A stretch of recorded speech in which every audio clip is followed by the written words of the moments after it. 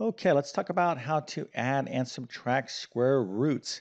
So what am I talking about exactly? Well, I'm talking about dealing with problems like this. We have the square root of 8, and we would like to add it to the square root of 2. So what is the answer? Now notice I said that we would like to uh, add these up. Sometimes when you're adding or subtracting square roots, we can't really uh, simplify the expression. You'll see why here in a second. But uh, what I'm not talking about is getting our calculator out and uh, typing in the square root of 8 and getting some decimal and then typing in the square root of 2 and getting some decimal and adding them uh, adding those two up. That's not what I'm talking about. So let's put our calculator our calculators away except for the one between your ears. That one comes in pretty handy. So uh, if you know what to do here, go ahead and type in your answer into the comment section because this is absolutely essential skills in any sort of algebra course. Okay, so let's get into uh, how to add and subtract square roots. So let's take a look at uh, some basic examples and we'll get back to that example here in a second.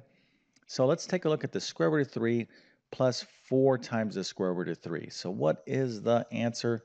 I'm going to go ahead and tell you the answer. The answer is 5 times the square root of 3.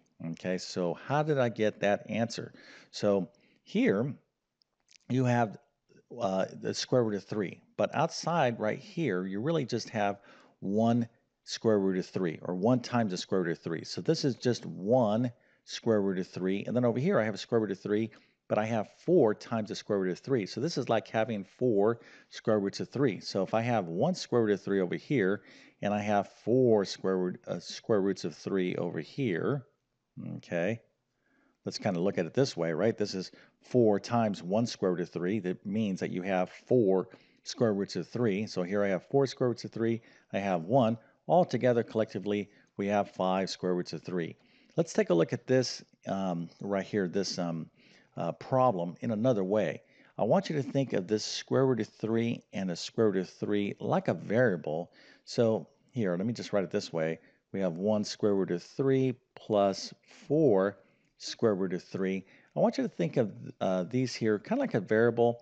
If you're familiar with how to add like terms, let's replace the square root of 3 with x. So I just have 1x plus 4x. So how many x's total do we have? We have 5 x's, okay?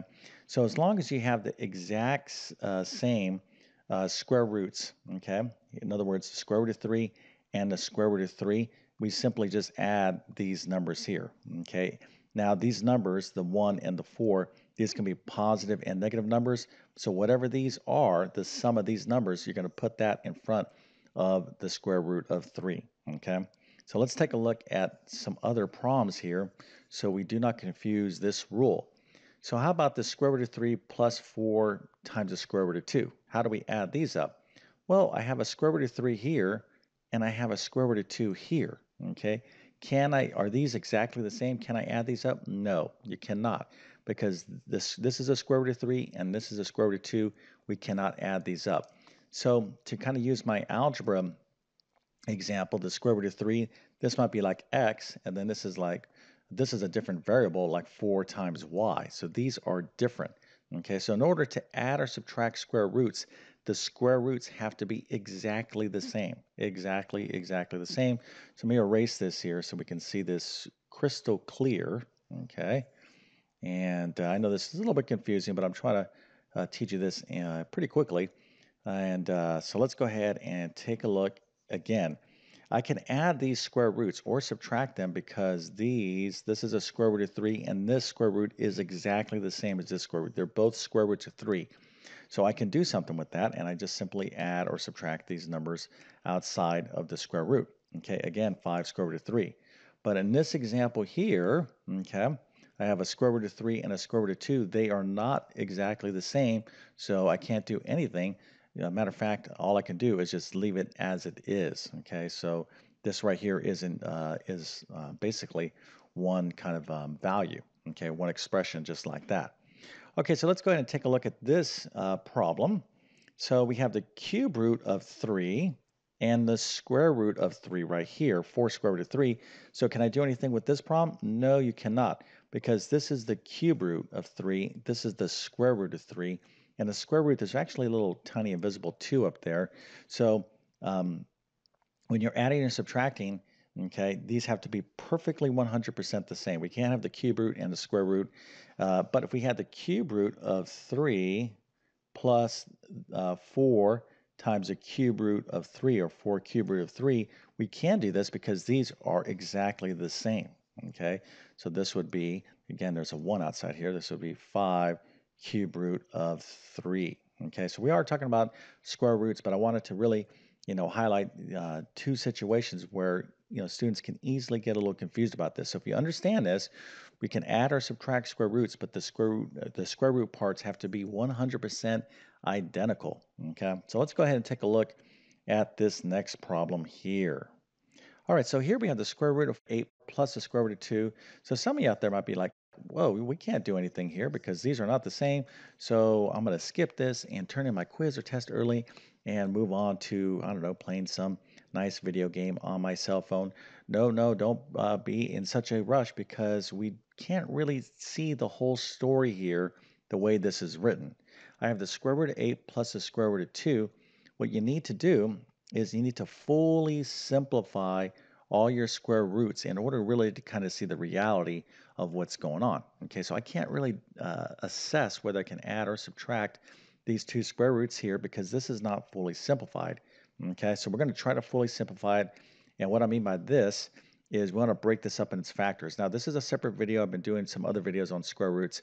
So you need to know how to simplify square roots. So we can write the square root of 8 as the square root of 4 times 2. 4 times 2 is 8. And I could pull apart this one big square root into two separate square roots. So this is uh, the same thing as the square root of 4 times the square root of 2. That is the same thing as the square root of 8. Okay. But the advantage of doing this is the square root of 4, the principal square root, which is just the positive version of it, is 2. So now the square root of 8 really, in a more simplified manner, can be written as 2 times the square root of 2. Now I can look at this problem, okay, instead of looking at it this way, I can look at it this way. Okay, so this is 2 square root of 2 uh, plus the square root of 2.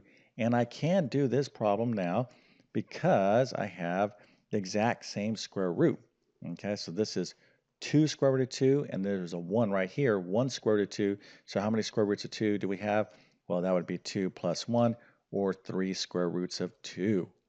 All right, so hopefully you're getting a feel for this. Again, you're going to need to know um, how to simplify square roots to uh, be able to add and subtract uh, square root expressions. But let's take a look at a subtraction problem here real quick uh, because this is adding and subtracting square roots. So let's take a look at 6 square root of 10 minus 8 square root of 10. So how can we deal with this?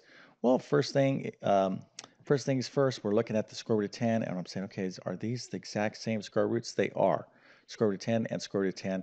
So now you can just think of this uh, prom as 6 square root of 10 minus 8 square root of 10. I could just write this as plus negative 8. This is a negative 8 there. Okay, so I'm going to add these numbers 6 and negative 8. Okay, and I'm going to put that uh, result in front of the square root of 10. So 6 plus negative 8. Hopefully you're up to speed on your positive negative numbers is negative 2. So the answer is negative 2 square root of 10. Now, there's a lot of different uh, problems here and uh, additional practice, and we can make this much more complicated. But if you understand the basics here and you got all this right, well, then let me go ahead and go ahead and give you a nice smiley face for uh, just being a superstar in mathematics. Let's get you an A plus and 100%. Nice job. Now, generally, I kind of put in some nice hairstyles, but we'll kind of skip that for more challenging uh, problems. So nice work. Okay, so again, when it comes to square roots, there's quite a bit to know. Okay, you have to, of course, know how to add, subtract, multiply, divide, and simplify. Okay, so uh, the key here is not just to watch me do one prom, you know, a quick video and be like, okay, I got this, so I'm therefore I'm an expert at it. No, you have to uh, follow through and practice this stuff on your own. Remember, math is a skill. Uh, I have that skill, but in order for you to acquire the skill, you have to do your own individual practice. So I have additional videos on my YouTube channel, but if you really want to, if you really, really want to learn this stuff, uh, I'm going to encourage you to check out one of my algebra courses. But if this little video helped you out, go ahead and consider smashing that like button. That definitely helps me out. And maybe even subscribing to my YouTube channel. Again, I have uh, a lot of videos on my channel. So I have a lot more um, you know, on square roots. You just kind of have to go through my various playlists, my algebra playlist, etc. But my best math help will always be within my, within my math help program. Okay, so with that being said, I definitely wish you all the best in your mathematics adventures. Thank you for your time and have a great day.